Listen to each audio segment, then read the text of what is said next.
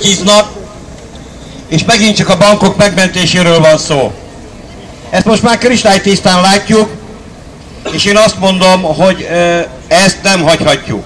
Ugyanezt mondja a Balog Béla, ugyanezt mondja a Tatár Józsi, ugyanezt mondja a Szántó Ernő, és a többi csapat képviseletében, akik itt jelen vannak. A feladat az adott.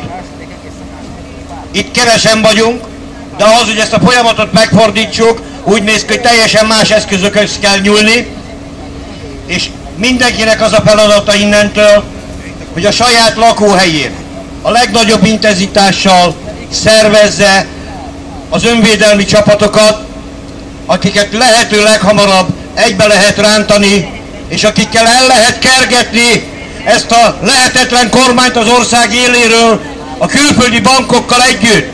Mondjátok ki az embereknek, hogy elég volt, össze kell fogni, össze kell zárni, ha kell forradalmat kell csinálni most már, mert ez így nem megy tovább. Ezt most már ugye mindenki látja. Megpróbáltuk békésen, hangos demonstrációkkal, szép szóval, petíciókkal, nem megy. Hát ha így nem megy, akkor teljesen más eszközökhöz kell nyúlni. Ennyit akartam mondani.